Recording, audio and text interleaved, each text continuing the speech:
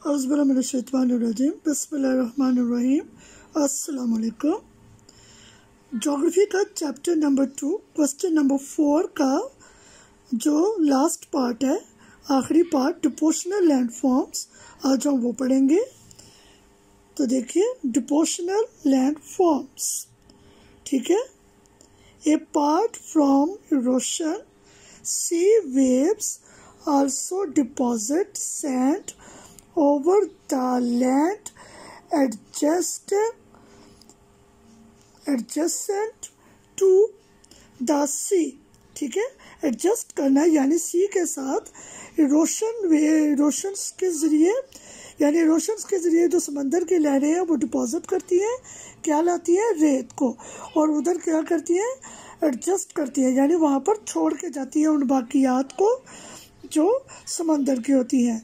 Due to this deposition a smooth plain comes into exist existence यानी जो smooth होती है, इसकी वजह से क्या होता है कि जब वो रेत और वो जो चीज़ें हैं समंदर की डिपॉजिट करती है वहाँ पर साहिल पर तो क्या होता है? स्मूथ, यानी एक प्लेन और बहुत अच्छी सी ज़मीन वहाँ पर वजूद में आती है। एक्सटेंस करती है वजूद में आती है which is known as coast जो किसके तौर पे जानी जाती है? साइल के तौर पे जानी जाती है। फर्दर एक्यूमिलेशन और फिर जो बाद की मज़ीद चीज़ें आती हैं ऑफ़ सैंड रेत के ज़रिए या दूसरी चीज़ों के ज़रिए may result in the formation of what's known as bar और जो बाद में मजीद रेत और दूसरी चीज़ें आती हैं, उसका रिज़ल्ट नतीजा क्या निकलता है कि वो क्या बनाती है मजीद?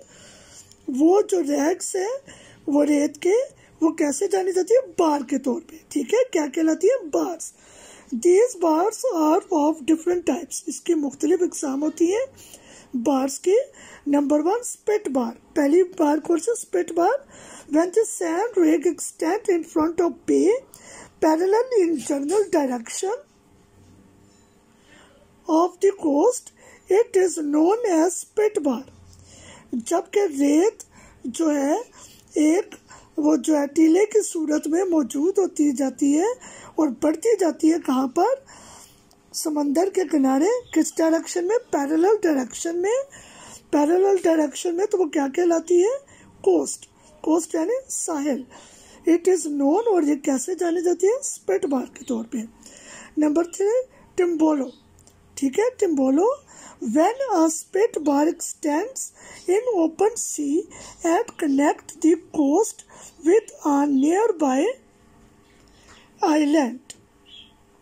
It is called tombolo जबकि एक स्पिट बार बढ़ती है एक्सटेंड होती है और फिर समंदर के सामने क्या होता है? खुल जाती है एंड कनेक्ट करती है और उसके साथ जुड़ती है। किसके साथ? साहिल के साथ विद अ नियर बाय करीब तरीन आयरलैंड यानी तकरीब तरीन उसके जजीरे पे।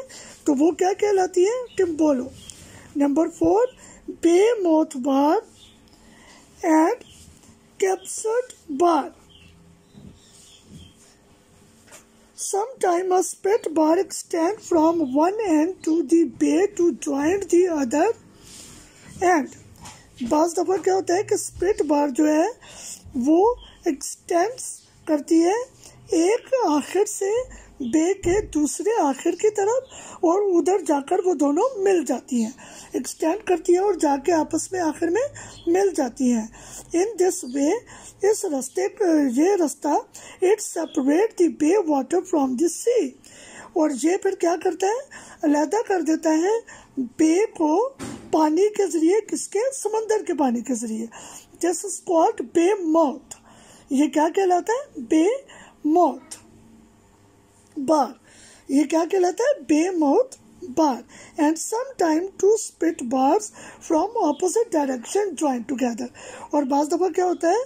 कि दो जो स्पिट बार्स होती है, वो दोनों मुखालिफ सिमत में होती है। एक दाएँ की तरफ़ होती है, एक बाएँ की तरफ़ होती है।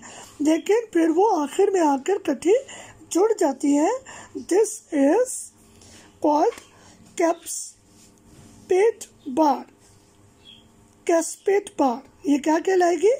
Cuspate bar, okay? ये आपका आज क्वेश्चन नंबर फोर कंप्लीट हो गया। आपने इसको राइट भी करना है और लर्न भी करना है। ओके टेक केयर अल्लाह हाफिज़।